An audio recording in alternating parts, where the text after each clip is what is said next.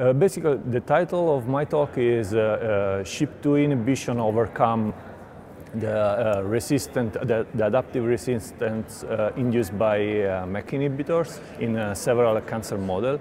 Um, SHP2 is the first oncogenic tyrosine phosphatase found um, in, re reported, and um, basically play an important role in uh, cell proliferation because uh, regulate the MAP kinase pathway that is one of the major uh, um, pathway involved in uh, cell survival and, and proliferation.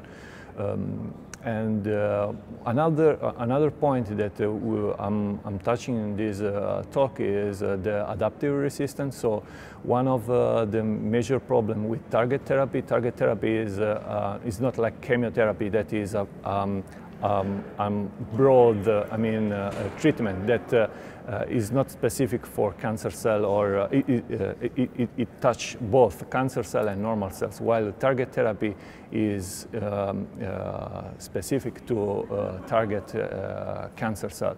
But as I said, um, cancer cells are smart. They adapt to the treatment that you, you give to them.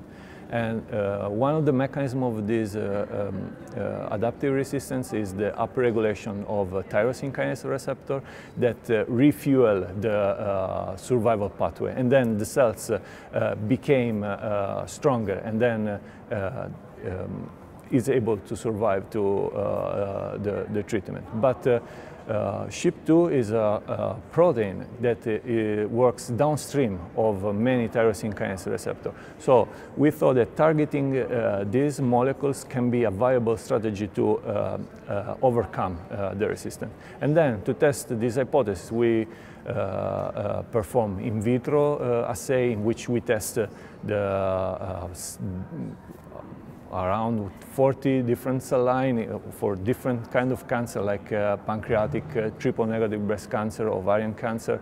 And we test uh, the, the, viability on uh, um, uh, using the, the, different drugs and we found that the combination of these two drugs strictly reduced the cell number in, in all of these cancer models.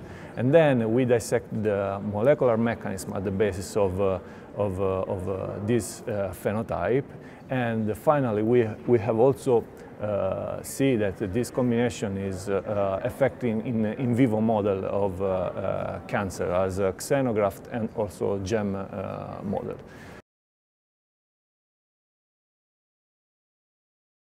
For example, for what concerns MEK inhibitor in treating pancreatic cancer, there is a clinical trial, but as uh, uh, the ma major problem is the uh, onset of adaptive resistance. So maybe combining the treatment of patients with MEK inhibitor and adding these new molecules that has been recently discovered by uh, Novartis, that is a specific SHP2 inhibitor, may be more effective in uh, uh, cure this kind of disease as pancreatic cancer that is almost undruggable and uh, um, very, very aggressive disease.